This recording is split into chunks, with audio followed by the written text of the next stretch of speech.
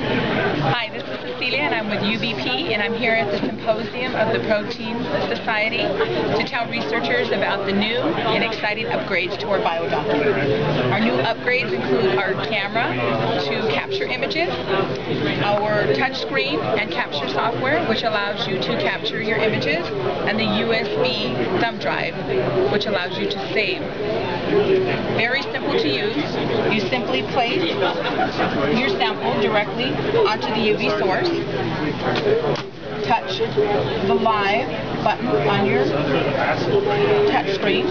If you need to adjust your sample, you go to the side door over on the side of the unit and you can reposition your sample. At that point, go to the aperture, adjust your ap aperture, zoom in or zoom out, and adjust your focus.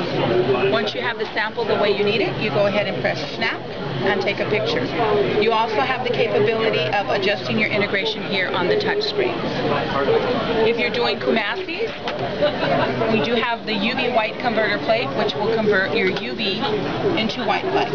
You simply place it inside the darkroom, turn the UV light on, and it will convert it from UV to white light. We also have our VisiBlue plate which is used for SYBR Green stains. Very easy to use. Again, our features include camera, touchscreen, and USB port for gel documentation.